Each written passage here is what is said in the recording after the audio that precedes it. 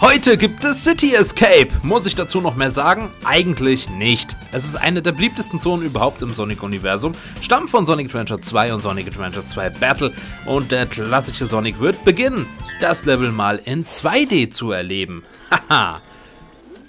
Im Park beginnt das Ganze.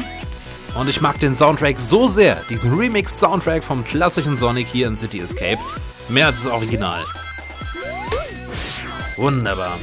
Also City Escape in Sonic Adventure 2 Battle kann ich ja auch im Schlaf.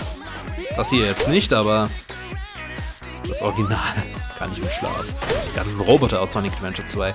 Sonic Adventure 2 ist echt was Besonderes. So, und da unten schöne Easter Eggs, können wir uns mal aber näher beleuchten. Wanted, Bean the Dynamite und Bark the Polarbär und hier rechts Snack the Weasel.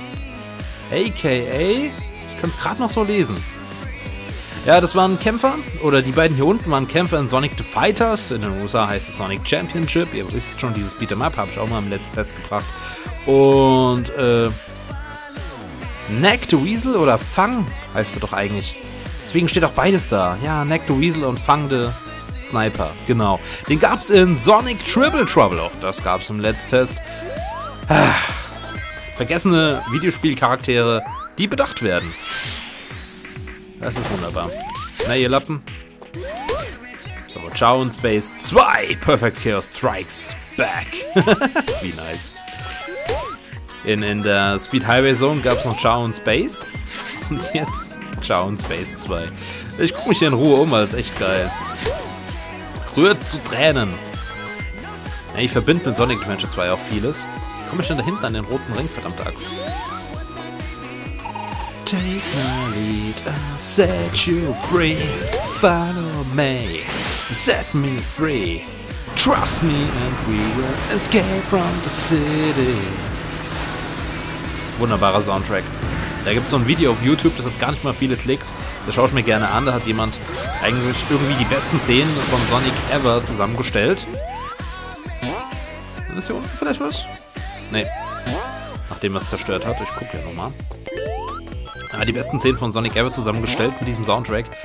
Und ich feiere das hart. Eines der besten Videos auf YouTube für mich. Kurioserweise. Kann ich jetzt gar nicht nennen, um was es geht. Wenn ich es nicht vergesse, dann schreibe ich es in die Kommentare, ähm, in die Videobeschreibung. Also, wenn ich es vergessen habe, in der Videobeschreibung nichts steht, dann haut mich nochmal an. Da habe ich es einfach mit der Zeit vergessen. Und ja, dann schreibe ich es in die Videobeschreibung, damit ihr wisst, was ich meine für ein Video. Wundert euch nicht, aber ich feiere es irgendwie. Könnte den Soundtrack wenigstens noch ein bisschen genießen. Hä? Achso, hier sind Kisten. Sehr schön. Ah, Sonic Adventure 2, da, da kommt so schnell nichts ran. Das ist was ganz Besonderes. Manche werden hinterher dies erst später sehen. Also wer von euch noch nie Sonic Adventure 2 gesehen hat und sich jetzt anschaut, der wird sich auch denken, was labert der? Oh nein! Oh, ich dachte schon, der macht mir hier alles platt. Da werdet ihr euch auch beklagen über die Grafik, weil das halt noch von der Dreamcast-Ära ist. Das ist halt ein bisschen schwierig. Ich habe Sonic Adventure 2 Battle Let's Played. Ich erkläre nochmal ganz von Anfang an. Sonic Adventure 2 erschien für das Sega Dreamcast. Und da das Dreamcast ja erstens mal schon vor dem Ende stand, hat sich das Spiel nicht mehr viel verkauft. Es wurde geportet, wirklich eigentlich nur geportet, auf den Nintendo GameCube zum... Ah, voll daneben zum GameCube Launch. Oder in Europa war es ein Launch. Ich glaube, in Japan nicht. Japan hat ja noch drei Spiele zum GameCube Launch gehabt. Ähm, es war ein Remake. Gut, es gab ein, zwei mehr Sachen, zum Beispiel den Multiplayer-Modus, auch mit Charakteren aus Sonic Adventure 1. Und äh, ja, wirklich eines der bestverkauftesten Gamecube-Spiele in der Tat. Ich hätte mehr speeden sollen. Ach du schon, der hat mich Spaß gemacht. Nee?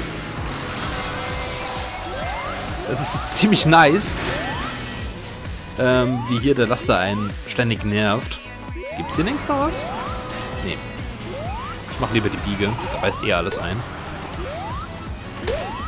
Ja, und später wurde deswegen auch Sonic Adventure 1 nochmal nachgereicht, sonst hätten sie es wahrscheinlich auch andersrum gemacht. Mit Sonic Adventure DX. Also Unterschied zwischen Sonic Adventure und Sonic Adventure 2 Ach, der Unterschied zwischen Sonic Adventure 2 und Sonic Adventure 2 Battle für Dreamcast und Gamecube. Es gibt mehr Sprites, also andere Sprites, teils verbessert und im Multiplayer-Modus etc. pp. Und ja, das wurde dann auch nochmal auf Xbox 360 und ich glaube PlayStation 3 geportet.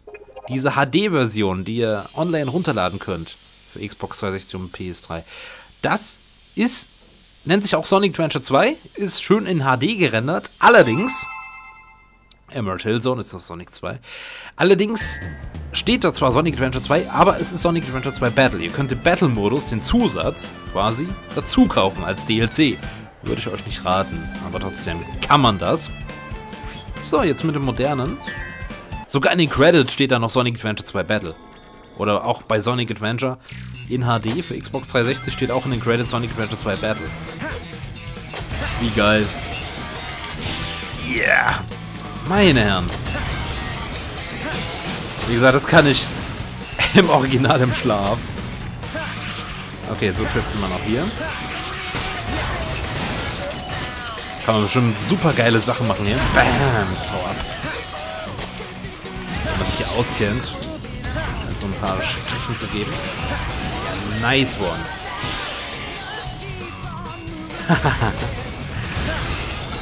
da geht mir das Herz auf. Ich hoffe, ihr merkt das. Oh, da hat man ganz kurz äh, ein bisschen durch die Häuser schauen können. Das sollte nicht so sein. Oh. Mittlerer Orgasmus. ähm, ja, das ist auch diese Passage. Hm, schon wieder? Nee, jetzt nicht. Ja, ein bisschen. Clipping-Fehler. Das sieht aus, Levelaufbau noch wie aus Original, aber jetzt schon wieder anders. Ich feier's hart.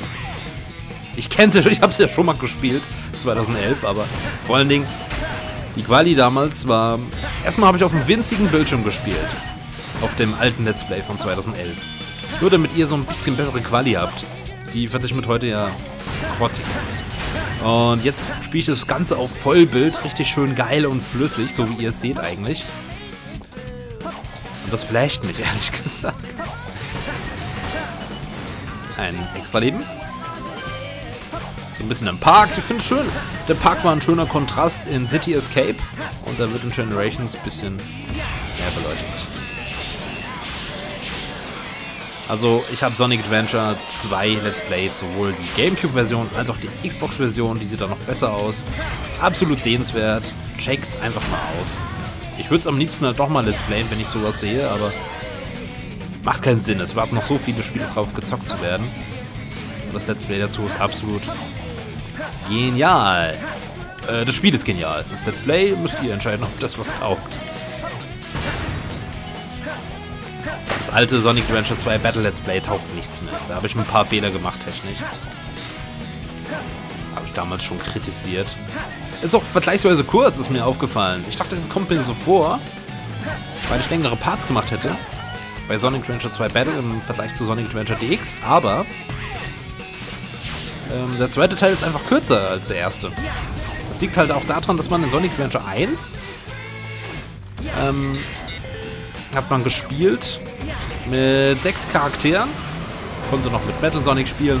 Super Sonic hat eine Story gehabt. Und Sonic Adventure 2 halt nur Team Hero, Team Dark und eine Final Story. Jetzt guckt euch mal den Psycho-LKW an. Ich wusste natürlich, dass der kommt. Der hat ein paar Gadgets, der rastet total aus. Und als ich das Blind Let's Play habe, ein unvergessener Moment. Als ich gesagt habe, er ist alt, er macht nichts Neues und dann, er macht was Neues! Guckt mal, der rastet voll aus. Der macht durch die Gebäude durch. Das ist doch ein bisschen Extremo. Und mit irgendwelchen Kreissägen drückt er uns hier auf die Pelle. Der war damals in Sonic Adventure 2 schon sehenswert. Nettes Gimmick. Und er packt hier nochmal einiges aus. Da ist mir das Herz wirklich stecken geblieben. Jetzt hier Man in Black Style ist doch wirklich übertrieben geil. Nein! Und hängen geblieben.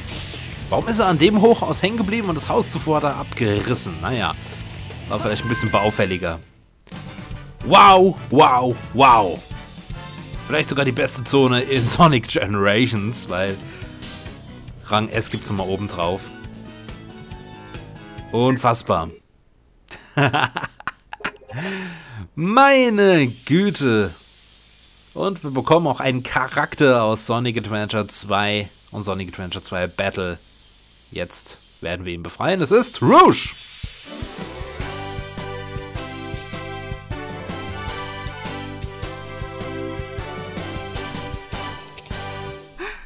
Danke, blauer Freund.